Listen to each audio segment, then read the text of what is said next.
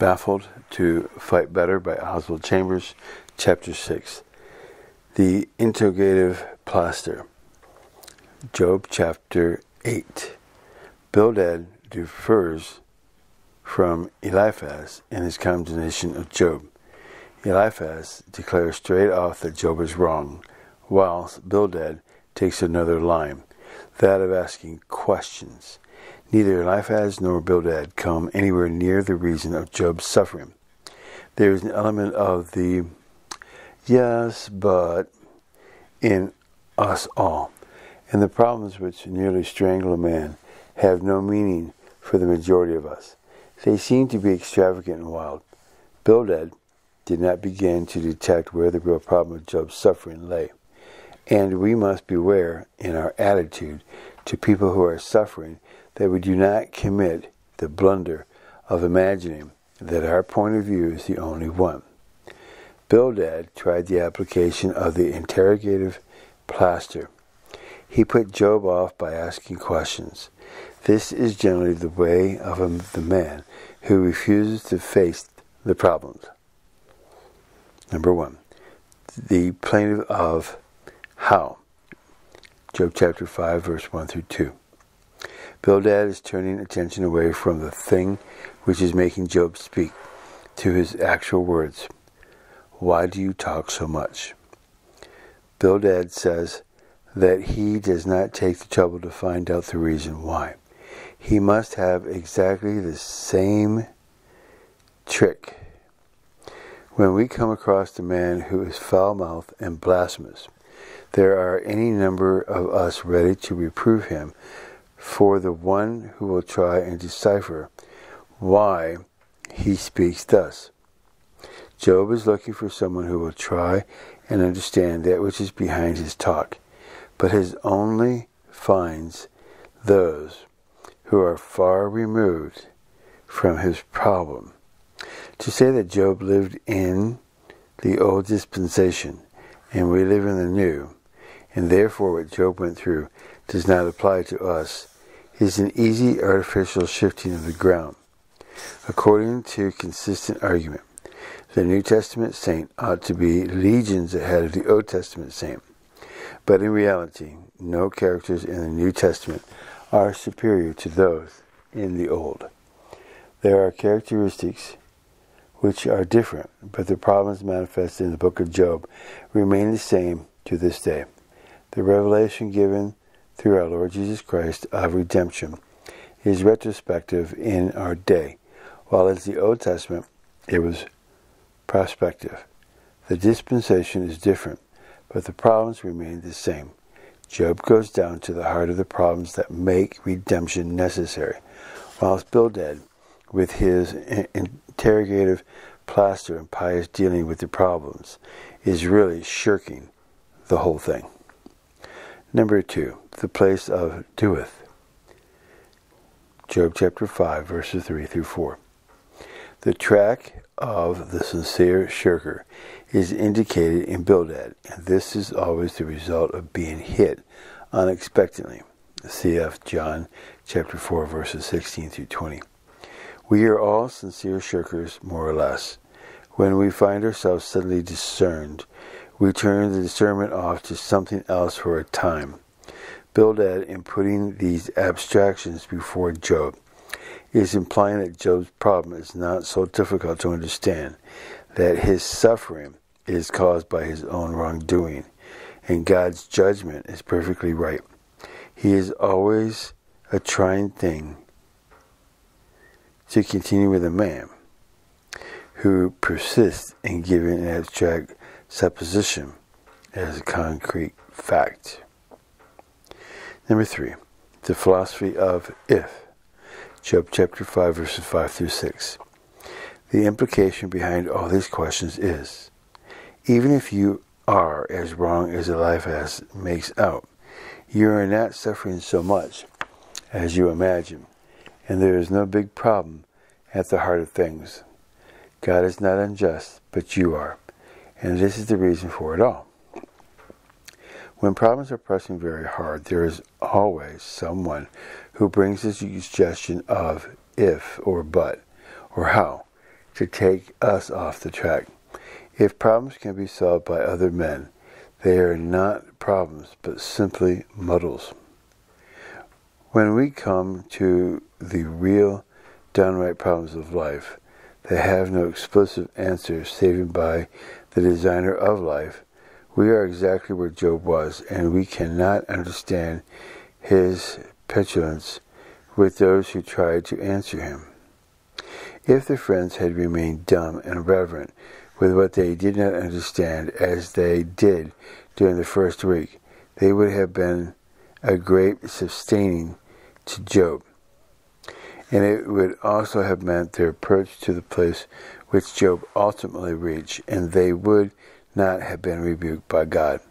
The gospel of temperament works very well if you have only some psychic neuralgia and all you need to speak is a cup of tea. But if you have a real deep complaint, the injunction uh, to cheer up is an insult. What is the use of telling a woman who has lost her husband and sons in the war, World War One, to cheer up and look on the bright side? There is no bright side. It is absolute blackness.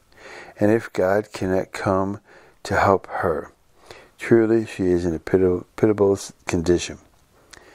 It is part of the role of a man to be honest enough to know when he is up against causes like this. The gospel based on preconceived notions is an irritant. Bildad had his creed and his notion of God. Job does not fit into these. Therefore, it is a bad outlook for Job. Bildad, in effect, says, My point of view of God cannot be wrong. Therefore, you must be. Number four, the pose of platitude. Job chapter 5, verses 7 through 10. The line Bildad takes up in these verses is as if a man were to preach to the inmates of a lunatic asylum and tell them it is better to be sane than mad. But in the meantime, they are mad. Bildad denies that Job is facing a problem which had never been faced by his fathers. We are apt to forget that there is always an element in human suffering which was never there before. Tennyson puts it finely in a memoriam. Quote, One writes that our friends remain, that loss is common to the race, and common in a common place, and vacant chaff well meant for grain. The loss is common, would not make my own less bitter, rather more, too common. Never morning wore, to evening, but some heart did break. Unquote. There is a great deal in both joy and sorrow that is similar in the case of everyone, but there is always one element that is entirely different, and the platitudinarian evades this. On the human side, the only thing to do with a man who is up against these deeper problems is to remain kindly agnostic. The biggest benediction one man can find in another is not in his words, but that he implies I do not know the answer to your problem. All I can say is that God alone must know. Let us go to Him. It would have been much more to the point if their friends had begun to intercede for Job and had said, This is a business for God, not for us. Our creed cannot begin to touch it. But all they did was to take to chattermongering in telling Job he was wrong. When God emerged, he put his imprint on all that Job had said of him and his disapproval on what his friends had said. If redemption is not the basis of human life and prayer a man's only resource, then we have followed cunning devised fables. During this war, World War One, men have over and over again turned to prayer, not in the extreme of weakness, but in the extreme of limitation which means that they have got beyond the limit of a man. And whenever a man reaches the utmost limit, he unconsciously turns to God. Bildad claims to know exa- exactly where Job is, and Eliphaz had claimed the same thing. Job was hurt, and these men tried to heal him by platitudes. We were never intended to understand life. Life is that which makes us what we are, but life belongs to God. If I understand a thing and can define it, I am its master. I cannot understand and define life, neither can I understand and define God. Therefore, I am a master of neither. Logic and reason are always on the hunt for definition, and anything that cannot be defined is apt to be deified. Rationalism usually defies God and defies life. It will not have anything it cannot define on a rational basis, forgetting that the things that make up ele- elemental human life cannot be defined. There are teachers abroad today who are playing the fool on these elemental lines, declaring that they can give guidance and they succeed in doing a fathomless amount of harm. A man is a criminal for knowing some things. He has no right to know them. And the primal curse of God was on Adam when he ate the fruit of the tree of knowledge of good and evil. God intended Adam to know good and evil, but not by eating the fruit of the tree. He was to know good and evil as Jesus Christ knew it, by simple obedience to his Father. None of us by nature knows good and evil in that way. Therefore, when we are born from above, we have to take care what we deal with reverency, with the elemental things underlying life. The place for the comforter is not the preacher's position, but the position of the comrade who says nothing, but who prays to God about the matter. The biggest thing you can do for those who are suffering is not to talk platitudes, nor to ask questions, but to get into contact with God, and the greater works will be done by prayer. John chapter 14, verse 12 through 13. Job's comforters never once prayed for him. They tried to make coin for the enrichment of their own creed out of his suffering. Number five, the point of can. Job chapter 5, verse 11. Bildad uses an argument from nature, consistent to its own illustration. One of the first embarrassments we find in the New Testament is that it is not consistent with its illustration in a strictly logical sense. When we take an illustration, we are apt to run it to death in logical sequence. The Bible never does. Bildad takes an illustration from rushes and flags and applies it to Job, but he is more concerned about being consistent with his illustration than with the fact of Job. An illustration ought to be a window which never calls attention to itself. If we take an illustration from natural history, and apply it to the moral and spiritual life of men. We will not be true to facts because the natural law does not work in the spiritual world. In the first place, a law is not anything concrete, but a constructive mental abstraction whereby a human mind explains that which it sees. I will restore to you the years the cankerworm hath eaten. This is not a natural law. Yet it is what happens in the spiritual world. In the natural world, it is impossible to be made over all over again. But in the spiritual world, this is exactly what Jesus Christ makes possible. As there is a law in the natural world, so there is a law in the spiritual world. That is, there is a way of explaining things, but it is not the same in both worlds. Bildad makes the blunder being consistent with his illustration. If you're a logician, you will often gain your point in a debate, and yet you will, you will be wrong.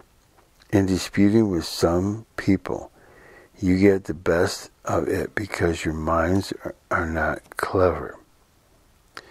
But when you get away from your flash of triumph, you feel you have missed the point altogether.